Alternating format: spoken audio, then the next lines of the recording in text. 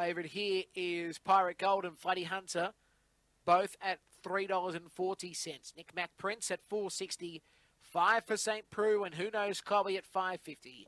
Green light lure driven, set to go, race nine. The Classens contractors 512. Racing and St. Prue began well, showing very good speed was Flatty Hunter alongside Nick Mac Prince, Pirate Gold, and back at the tail, who knows Chloe down the back. St. Prue leads, though on the inside, Nick Mac Prince trying to roll up and goes to the lead. Third position, Flatty Hunter followed by Pirate Gold, and who knows Chloe. The leader, Nick Mac Prince, St. Prue, and now Flatty Hunter, Pirate Gold, and who knows Chloe back at the tail. Nick Mac Prince, the leader. Flatty Hunter going wide. Pirate Gold back on the inside. Pirate Gold might have the run here, and Pirate Gold does win. Pirate Gold from Flatty Hunter at third spot. I think you'll find will be Nick Mac Prince with St. Prue and who knows Chloe. Time will be 30 and 3. What a tight finish.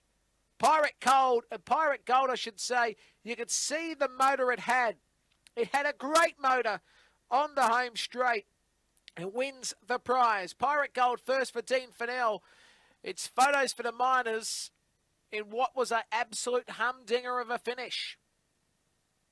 We just await here. Six has got up. Pirate Gold first. Dean Fennell, the trainer. A fawn dog from Zulu Zeus out of Spring Rain. Second, Flatty Hunter. A good run for second, too. Anthony Harding, the trainer. A fawn girls and Bora Brocky out of Letrovicky.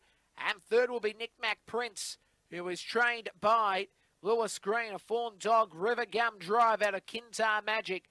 Fourth officially St. Prue for Robert Walsh. But six, eight, four and one. Three quarters the margin. Three quarters by half a head.